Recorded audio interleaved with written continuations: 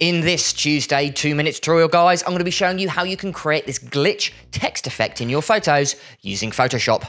And I'm going to start right now.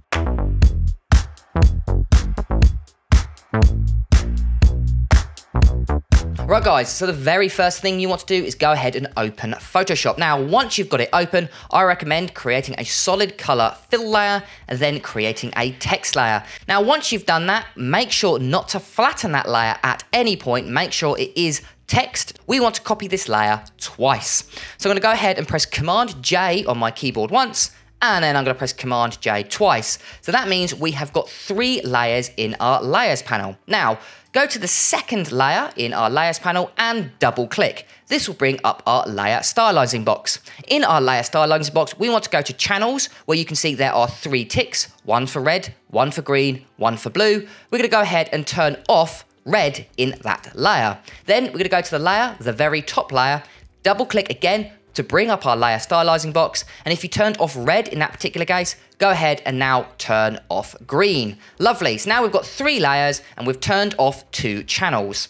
So what we're to do is go to that second layer again. I'm to go ahead and press Command T. That will bring up our free transform tool. While holding Shift, go ahead and press the right arrow twice. That will offset it ever so slightly. And once you're happy, go ahead and click enter. And we want to do the exact same thing for the top layer. So we're gonna go ahead, press Command T, bring up our free transform tool, go ahead and press shift, but this time go ahead and press left arrow twice. And as you can see, we have now offset it to the left. And because we've turned off two channels, those channels are now creating these really cool glitch colors. Now what you want to do is to merge these layers together. So what I recommend doing is going to that top layer, going to the very bottom layer without choosing the background and go ahead and press Command E. That will merge all of those three layers into one layer.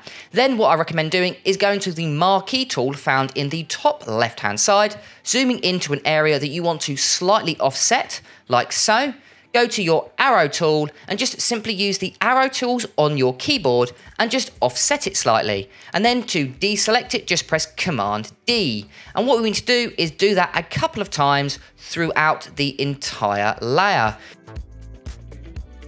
And what you can do is do this until you are happy with the results. And here is one I made earlier. Here is the before and here is the after. And if this particular tutorial kind of tickled your fancy, make sure to give it a like. And if you're interested in more tutorials like this, go ahead and subscribe to my YouTube channel.